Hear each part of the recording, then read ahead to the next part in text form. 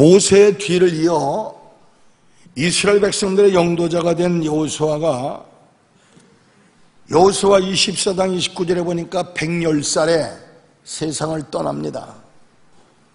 근데 여호수아가 세상을 떠나기 전에 자기 백성들을 향하여 유언의 말을 남겨요. 저를 보세요. 유언 참 중요한 말씀이죠. 그런데 하나님께서 허락하신 젖과 꿀이 흐르는 가난 땅에는 사람들이 싹 없어진 것이 아니라 그 지역의 원주민들, 여러 부족의 원주민들이 있었는데 그네들은 할례받지 못한 우상을 섬기는 이방 잡족들이었어요. 이 여호수아 23, 24장을 읽을 때마다 참 감개가 무량하고 참 여러분들 기가 막힌 그런 기억들이 있어요. 제가 옛날에 1982년도에 32년 전에 전주에 집회 내려갔다 제가 간경화로 쓰러져서 예수병원에 입원해서 여러분들 두 달을 넘기지 못하겠다고 하는 사형송을 받았을 때 어떻게 할 것이냐? 누워있다가 죽을 것이냐? 뛰다 죽을 것이냐? 생각하다가 어느 단에서 제가 쓰러지더라도 말씀을 증거하다가 쓰러지겠다는 결심으로 여러분들 제가 퇴원해서 교회를 왔습니다.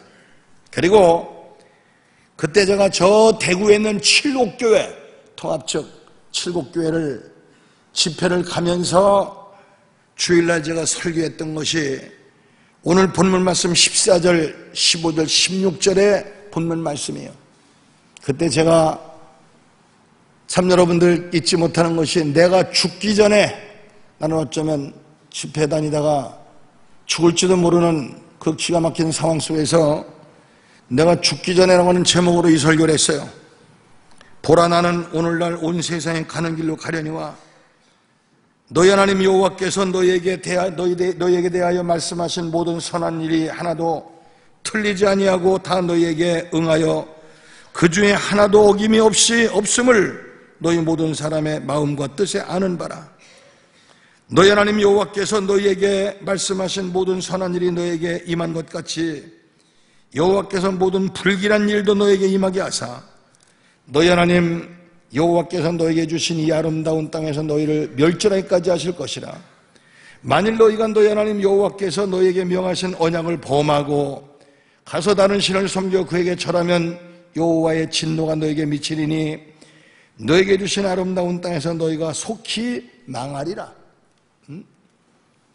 오늘 여호수아는 자기 백성들에게 유언하기를 이방 잡족들과 피를 섞지 말며 그네들이 섬기는 신들에게 절하지 말며 왕래하지 말라. 그러면 너희가 속히 망할 것이다. 참 여러분들 기가 막힌 유언의 설교를 남기고 떠나가죠. 여호와서 오늘 본문에서 강조하는 것은 하나님과 친하라의 하나님과 친하라.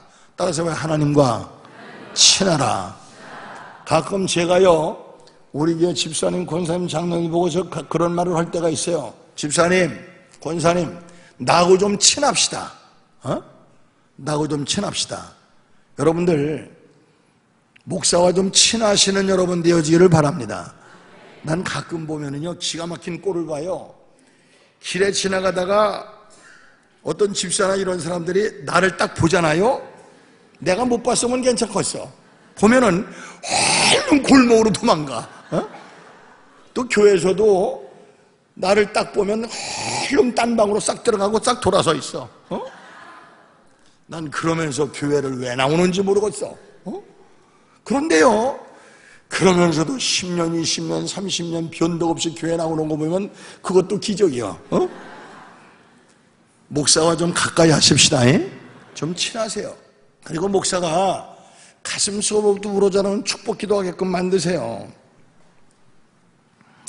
오늘 8절에 오직 너희 하나님 여호와를 친근히 하기를 오늘날과 같이 날까지 행한 것 같이 하라. 이스라엘 역사를 보면은 하나님을 가까이 하면 복을 받고 나라가 태평했습니다. 그러나 하나님을 멀리 하면 저주를 받았고 나라가 외적의 침략을 받아 흔들리거나 망했어요. 오늘 이 교훈은 옛날 이스라엘 백성들에게만 한 것이 아니라 구원받은 하나님의 자녀들에게 영원토록 명하신 말씀이요. 첫째, 하나님을 멀리하면 어떻게 됩니까? 오늘 12절, 13절을 보면은 그들이 너희에게 올무가 되며, 올무. 너희가 지금 점령한 가난 땅의 그 원주민들, 우상 숭배하는 하나님을 모르는 그런 사람들과 너희가 가까이 하면 그들이 너희에게 올무가 되며 도시 되며 너희 옆구리에 채찍이 되며 너희 눈에 가시가 되어서 너희가 필경은 너희 하나님 여호와께서 너에게 주신 이 아름다운 땅에서 멸절하리라. 기가 막힌 말씀이에요. 16절에 진노가 너에게 미치리니 너에게 주신 아름다운 땅에서 너희가 속히 망하리라고 했어요. 한마디로 하나님을 멀리하면 되는 일이 없고 그 결말은 멸망이란 말이에요. 하나님을 멀리하는 것은 하나님이 명하신 말씀을 과소평가하고 소홀히 취급하고 하나님을 무시하는 행동이에요. 그래서 여러분들 우리가 성경 말씀을 떠나서 공자 선생도 유교의 교주 공자 선생도 이런 말 했어요. 순천자는 흥하고 역천자는 망한다. 어? 하루의 뜻을 순종하는 자는 흥하고 잘 되고 하루의 뜻을 거역하는 자는 망한다고 그랬어요. 한마디로 인간의 생사화복을 주장하시는 분은 우리 하나님이십니다. 믿습니까? 이거 꼭 기억하세요. 그래서 사무엘상 2장 6절에 여호와는 가난하게도 하시고 부하게도 하시며 높이기도 하시고 낮추기도 하시며 죽이기도 하시고 살리기도 하시며 음부에 내리기도 하시고 올리기도 하시는도다 천당을 보낼 수도 있고 지옥 보낼 수도 있고 부자 만들 수도 있고 거지 만들 수도 있고 여호와를 대적하는 자는 산산이 깨어질 것이라 그랬어요. 하나님 사랑하십시오. 하나님을 가까이 하십시오. 잠언 16장 9절에 보면은 마음으로 사람이 마음으로 자기 길을 계획할지라도 그 걸음을 인도하시는 자는 여호시라 그랬어요. 오늘 12절 보면은 너희가 만일 퇴보하여 너희 중에 빠져 남아있는 이 민족을 친근히하여 더불어 혼인하고 피차 왕래하면 그들이 곧 올무가 되고 덫이 되고 채찍이 되고 가시가 되리라고 했어요. 우린 여기서 어느 쪽을 선택하느냐에 따라서 생사와 흥망이 갈라진다는 사실이에요. 이 중요성을 깨닫게 된 여호수아는 오늘 24장 14절에 너희 열조가 강 저편과 애굽에서 섬기던 신들을 지하여 버리고 여호와만 섬기라 여호와만 섬기라라고 강력하게 말씀하고 있어요. 여러분들 저는요 이제 엊그제 우리 민족보호운동본부 저 인천에서 목사님들 모임이 있었는데 제가 오늘 설교할 때 이런 설교를 했어요. 이 국가의 재난, 국가의 환란은 우리 기독교 책임이다. 내가 왜 이런 말을 했느냐면 잘 들으세요. 1938년 평양 소문교에서 조선 예수교 장로회 27회 총회가 있을 때 그때에 홍덕기라고 하는 분이 총회장이었었는데 그때 여러분들 일본 신사에 참배하는 것은 우상 숭배가 아니라 국민의례다. 그걸 결의하고 총회에서 결의하고 총회 중에 잠시 종회를 하고 다들 목사들이 장로들이 나가서 신사에 가서 참배를 하고 돌아와서 대회를 했어요. 이건 하나님을 배신, 배약, 배도하는 우상 숭배한 무서운 죄거든요. 그 후에 여러분들 남북이 갈라지지 않았습니까? 또 1949년에 조선신학, 고려신학, 총회신학이 장로교가 세파로 쫙 갈라질 때 그 다음에 1950년에 여러분들 유교가 터졌어요. 이것이 우연만은 아닙니다. 또 1959년에 WCC 여러분들 작년에 부산에서 있었던 세계 WCC 타워 WCC는 여러분들 종교 혼합주의야.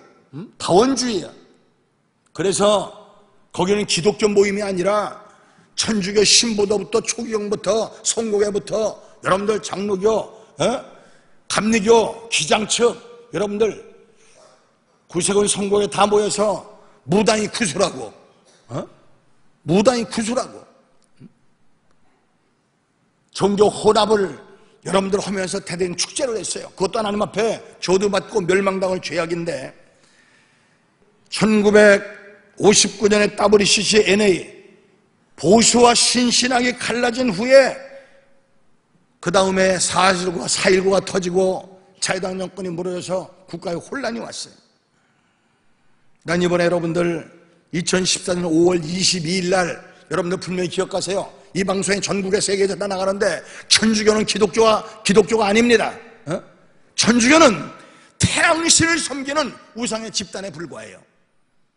제가 지난번에 말씀드렸지만 얼마 전에 세상 떠난 김수환 추경이라고 하는 사람이 불교든 기독교든 어떤 종파에든지 다 구원이 있다고 그랬고 이번에 왔다 간 교황이라고 하는 사람은 한다는 소리가 예수 믿지 않아도 어떤 종교를 갖지 않아도 사람이 착하게 양심적으로 살면 구원받는다고 그랬어요. 이건 마귀 소리고 그 사람은 지옥 갈 사람이. 그러나 분명히 사도행전 4장 12절에 다른 이로서는 구원 얻을 수 없나니 천하 인간이 구원 얻을 만한 다른 이름을 우리에게 주신 일이 없음이니라. 구원은 오직 예수밖에 없는 줄 믿으시기 바랍니다.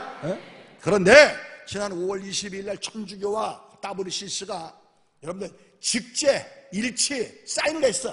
직제, 일치는 뭐냐면 앞으로 점점 신학과 커리큘럼, 성경 모임 이걸 같이 하고 서서히 합쳐서 나중에 여러분들 총회장이 추경이 되고 노회장이 주교가 되고 목사가 신부가 된다. 난 어제 깜짝 놀랐어요.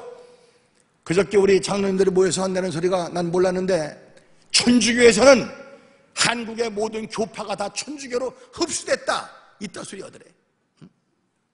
그런 근거를 만들어준 WCC에 해당된 교회들 하나님께서 징계하시고 저주하실 거예요. 이번에 회개하지 않으면 하나님께서 우리나라 국난이 올 겁니다.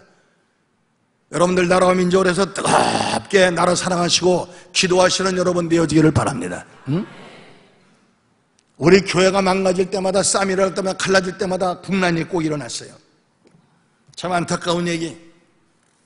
여러분들 이방 잡족들과 융합하고 피를 섞는 것은 이것은 여러분들 배신, 배약, 개패도 하는 무서운 죄악이다 이 말이.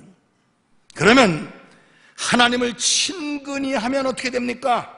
오늘 구절에 오늘날까지 너희를 당할 자가 하나도 없느니라. 10절에 보면은 너희 중 한 사람이 천명을 쫓으리니 한 사람이 천명을 쫓는다고 그랬어요 하나님이 함께 하시면. 자 여러분들 이것은 꼭 우리가 칼을 들고 총을 들고 싸우는 전쟁에만 임한 것이 아니라 우리가 세상 살아가면서 사업이나 가정 문제나 모든 문제들이 하나님을 친근하고 하나님이 나와 함께 하시면 모든 전쟁에서 승리하게 될 줄 믿으시기 바랍니다 내가 그 증거를 하나 대드릴게요. 1967년에 이스라엘과 아랍연합군이 전쟁을 벌였습니다. 보세요. 이스라엘은 그 당시 300만 밖에 안 되는 여러분들 손바닥만한 나라예요. 우리나라 강원도만한 나라예요. 그런데 그 위에 바로 요르단이 있죠. 그 옆에 그 거대한 에집트가 있죠. 그 밑에 이락이 있죠. 시리아가 있습니다. 이 시리아, 이락, 요르단, 여러분들 에집트 이 네 나라가 그 손바닥만한 조그만 나라를 일시에 공격을 했어요. 아주 지구상에서 이스라엘의 유태민족들을 없애기로 작정을 했어요. 그런데 그 전쟁이 6일 만에 끝났습니다. 그 전쟁이 6일 만에 끝났는데 세계 전쟁 역사에 최단 전쟁인데 잘 기억하세요. 그 아랍 연합군은 그 엿새 동안에 15,000명이 죽었습니다. 전투기가 430대가 격추당했어요. 탱크가 800대가 불에 탔습니다. 그런데 이스라엘은요, 비행기 40대가 불에 탔고 죽은 사람 빡 803명입니다. 어? 이쪽은 15,000명, 이쪽은 803명. 이쪽은 탱크가 800대, 비행기가 430대인데 여기는 비행기 40대 격추하고 끝났어요. 전쟁에 대승리를 했어요. 그때에 너무나 잘 아시는 액군은 모에세 다얀 장군이 이런 말 했습니다. 세계를 향하여 우리는 세계 어느 나라와 전쟁을 해도 우리는 승리할 것이다. 왜? 우리는 최신 무기를 개발했다. 어? 최신 무기를 개발했다. 그래서 전 세계가 다 그 무기가 도대체 뭐냐? 비상한 관심을 가지고 질문했을 때에 내가 어떤 날 그 최신 무기를 공개하겠다. 세계 이목이 다 집중됐습니다. 그때 모세 다연 장군이 이 성경을 가지고 기자회견 장소에 나왔어요. 최신 무기는 바로 이 성경이다. 할렐루야. 왜? 하나님께서 애굽에서 나와 젖과 꿀이 오는 가난 땅 우리에게 허락하실 때에 이 땅을 노아 내 후손에게 영원한 기업으로 허락하겠다. 할렐루야. 하나님께서 영원히 이 땅은 너에게 축복으로 주시겠다 약속하셨으니 온 우주 만물을 말씀으로 창조하시고 인간의 생사업을 주장하시는 그 하나님의 말씀은 어제나 오늘이라 영원토록 동일하다. 변함이 없을 것이다. 우리는 누구와 전쟁에서 승리할 것이다. 할렐루야. 출애굽기 14장 27절을 보면은 여호와께서 애굽 사람들을 바다에 바다 가운데 엎으셨다 그랬어요. 엎으셨다. 우리가 십계라고 하는 영화를 보시면 아시겠지만 바로에게 해방령을 받아서 이제 이스라엘 백성들이 가난 땅으로 향해 진격하는데 앞에는 홍해가 딱 가로막혀 있어요. 뒤에는 애굽의 추병들이 다시 따라옵니다. 진퇴양 내렸어요. 그때 모세가 지팡이 들어 홍해를 댔을 때에 홍해가 쫙 갈라졌어요. 이스라엘 백성들은 홍해를 건넜는데 그 다음에 애굽의 추병들이 말을 타고 막 달려와서 홍해에 다 들어왔을 때 하나님께서 물을 그냥 덮으셨어요. 응? 한순간에 애굽 군사도 추병들은 몰살당하고 이스라엘들은 무사히 다 건넌 줄 믿으시기 바랍니다. 이게 성경이야 성경. 하나님께서 하시고자 하면 모든 것이 다 할 줄 믿으시기 바랍니다. 나는 그래서 우리 성복의 성도들이 다 잘 되길 바래요. 축복받길 바래요. 여러분들 인간의 생사화복을 주장하시는 분 하나님이세요. 그 하나님을 가까이 하시고 그 하나님을 친근히 할 수 있는 여러분 되어지길 바랍니다.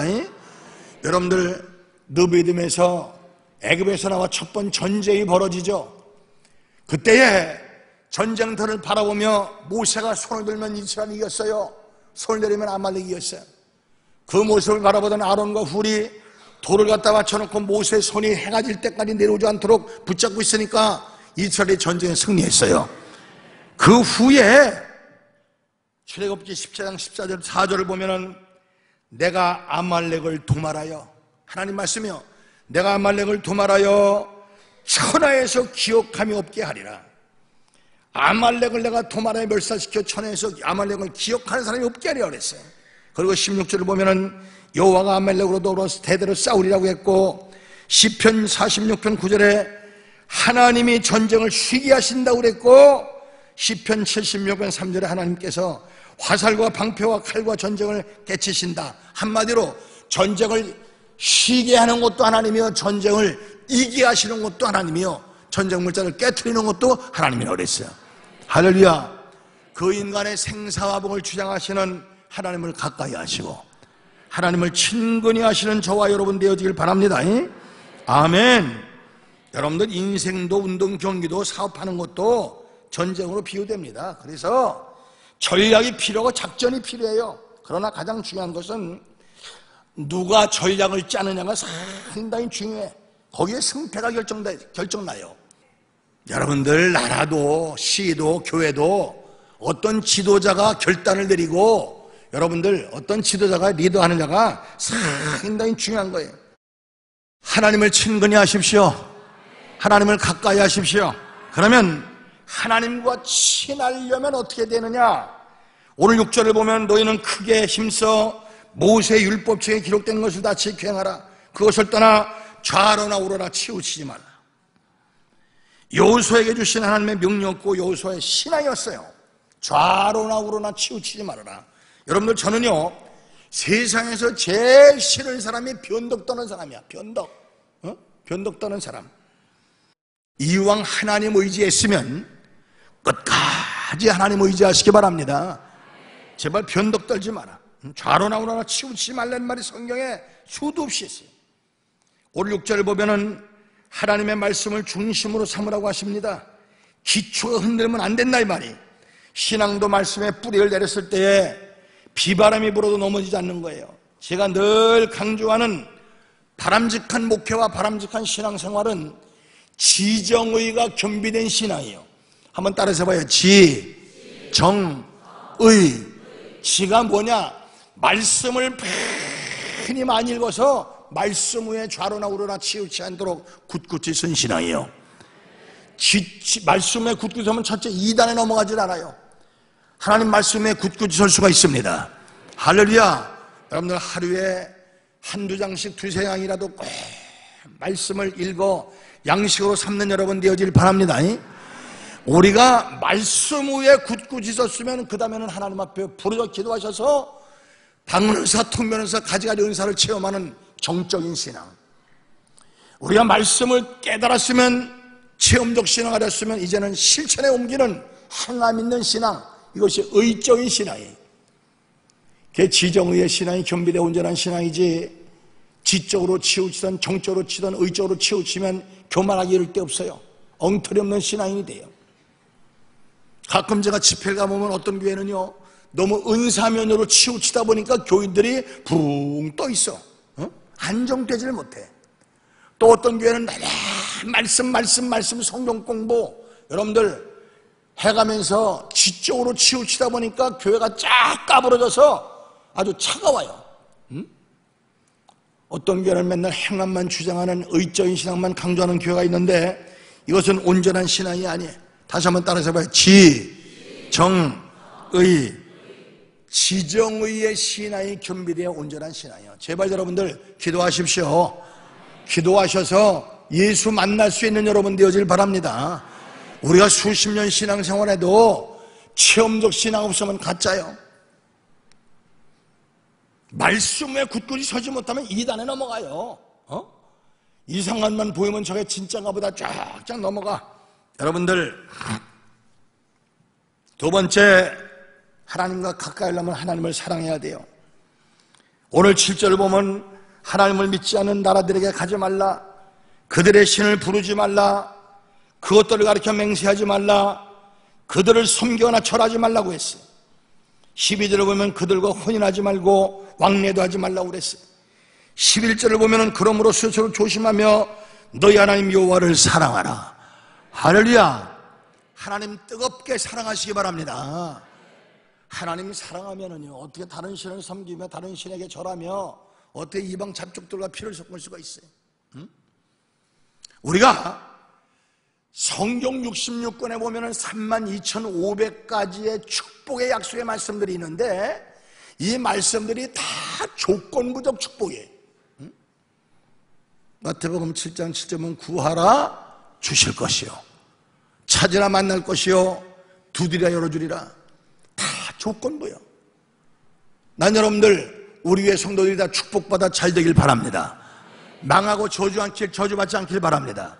거기에 보면은 너희가 온전한 10의 1조를 바쳐 나의 집에 양식 있게 하고 나를 시험하여 하늘문을 열고 너희 집 곡식 창고에 곡식을 쌓을 곳이 없도록 붙잡아보라 만군의 여호와의 말이니라 여러분들 보세요 지금 전 세계가 다 쓰는 콜게이트라고 하는 치약 있죠 그 치약 회사 콜게이트는요 자기 회사 전 수입의 50% 10의 5조를 하나님께 드려요 근데 우리 교회나 딴 교회나 큰 기업을 하는 사람들 11조 내는 걸 보면 엉터리 없어.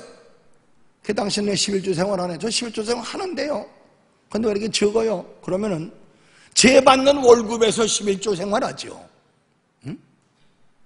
그건 11조가 아니에요. 어?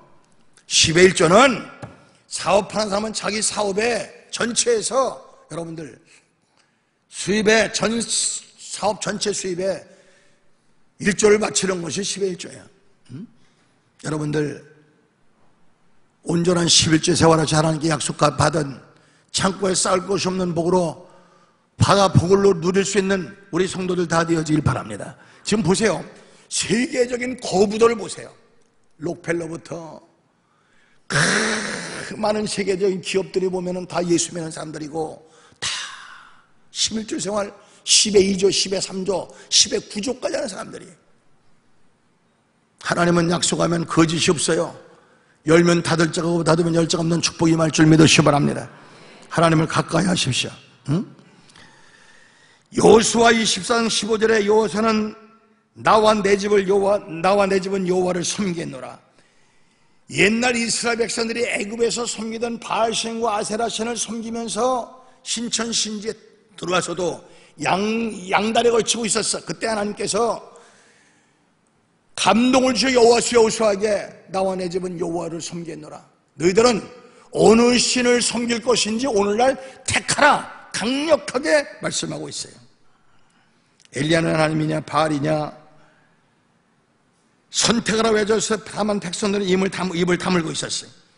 하나님과 친하고 하나님을 사랑했을 때 이스라엘 왕조도 빛났고 번영했습니다. 그러나 하나님을 멀리하고 하나님을 섬기지 않을 때 왕조도 그 주변도 망했어요. 보세요. 이스라엘의 초대왕 사울 왕이 40년을 왕노릇했습니다. 다윗도 똑같이 40년 왕노릇했어요. 그런데 사울 왕은 당대에 끝났습니다. 그러나 하나님 뜻대로선 하나님을 가까이 했던 다윗은 대대로 왕조를 이어나갔고 그 가문에서 인류의 구원자 예수님께서 탄생하시지 않았습니까? 할렐루야! 그래서 잠언 14장 22절에 보면은 소인의 산업은 자자손손 끼쳐도 하나님께서 축복하는 사람은 그 재산이 대대로 흘러내려가지만 죄인의 재물은 의인을 위하여 쌓이느니라. 할렐루야. 죄인의 재물은 의인을 위하여 쌓이느니라. 그렇습니다. 시편 145편 1절에 왕이신 나의 하나님이여 내가 주를 높이고 영원히 주의 이름을 송축하리이다. 사랑하는 성도 여러분들이여 하나님을 가까이 하십시오. 하나님을 친근히 하십시오. 그래서 하나님과 지금부터 영원까지 동고동락함으로 여러분 앞길은 형통하고 여러분 삶은 축복된 삶을 살고 하나님 앞에 사는 날 멸류관 상급받을 수 있는 지혜로운 우리 성복의 성도들 다 되어지기를 또한 지혜 있는 우리 전 세계 시청자들 다 되어지기를 주님의 이름으로 축원합니다.